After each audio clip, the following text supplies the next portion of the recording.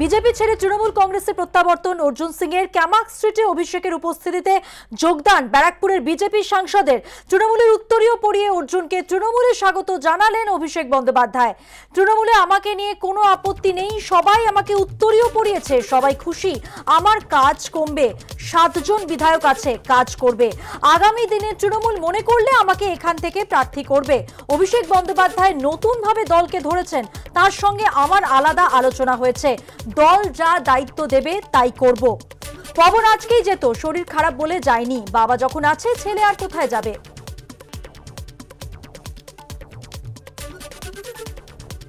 অর্জুন সিং এই কথা বলেছেন আজকে। অর্জুন সিং এর সঙ্গে কথা বলেছেন আমাদের প্রতিনিধি সমীরণ পাল। কি বললেন? শোনাবো।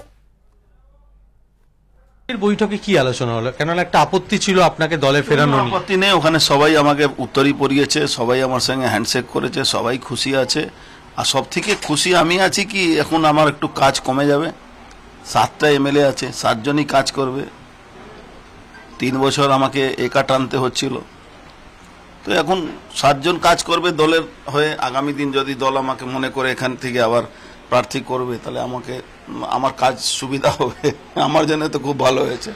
আর যে বাজারে আপনারা রটিয়েছিলেন সেরকম কোনো ব্যাপার নেই।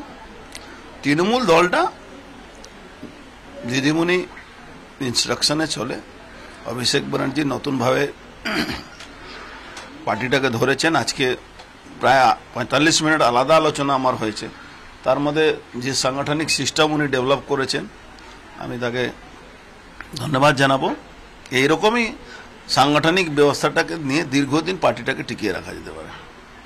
একটা কথা শোনা যাচ্ছে যে শ্রমিক সংগঠনের শীর্ষ পদে আপনাকে বসানো হতে পারে। পার্টি যে দায়িত্ব দেবে পার্টি যা কাজ করতে বলবে করব। আমি একটা মজদুর মানুষ আপনি হয়তো এটা বিশ্বাস করবেন না কিন্তু এখনও যদি রেকর্ড চেক করেন আমি পাঁচশো পঁচিশ টাকাতে চাকরি করতাম। চাকরি করে নিজের জীবনটা শুরু করেছিলাম। আজকে ট্রেড ইউনিয়ন আমার ব্লাডে আছে জুট মিল ট্রেড ইউনিয়ন আমি বুঝি। এবার পার্টি যদি আমাকে কাজে লাগায় কাজ করব।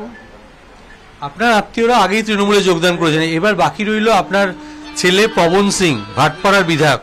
তার ব্যাপারে কি সিদ্ধান্ত? কিছু না পবন আজকেই যেত ওর শরীরটা খারাপ ওর নিজের মামা বাড়ি গেছিল ওখানে লু লেগে গেছিল না আজকেই যেত। আর বাবা যখন আছে ছেলে আর কোথায় যাবে? বিধায়ক পার্থ ভৌমিক সোমনাথ শ্যাম এটা বারবার আপনার বিরুদ্ধে সরব হয়েছেন, আপনার বিরুদ্ধে মামলা পর্যন্ত করেছেন। এরপরে আপনাদের সম্পর্ক কি যখন করেছিল তখন করেছে, এখন আমার সাথ এখন সবাই আমার এমএলএ আছে। এবার ওরা কাজ করবে, আমার আম- বয়সও বাড়ছে এখন আরাম করব একটু। আরাম করে আবার দিদি আশীর্বাদ পাবো, অভিষেক ব্যানার্জি যদি আমাকে ব্যারাকপুরে আবার নমিনেশন দেন আবার এরাই জিতাবে আমাকে।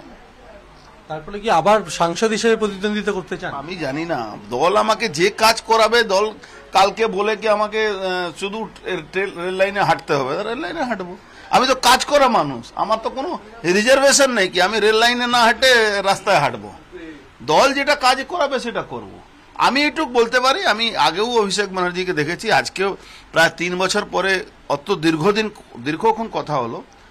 মানে হি ইজ ভেরি মাচ দলকে যদি এই সিস্টেমটাকেও উনি চালাতে পারেন আমি দায়িত্ব নিয়ে বলছি আমি একটা ভোট বোঝা লোক আমি বলছি কি উনি ভল- ভালোভাবে ভোটটা ভোটের জন্যে যা যা রাজনীতি করতে হয় সবটাই উনি করার চেষ্টা করছেন আর ধরে ধরে নিয়েছেন।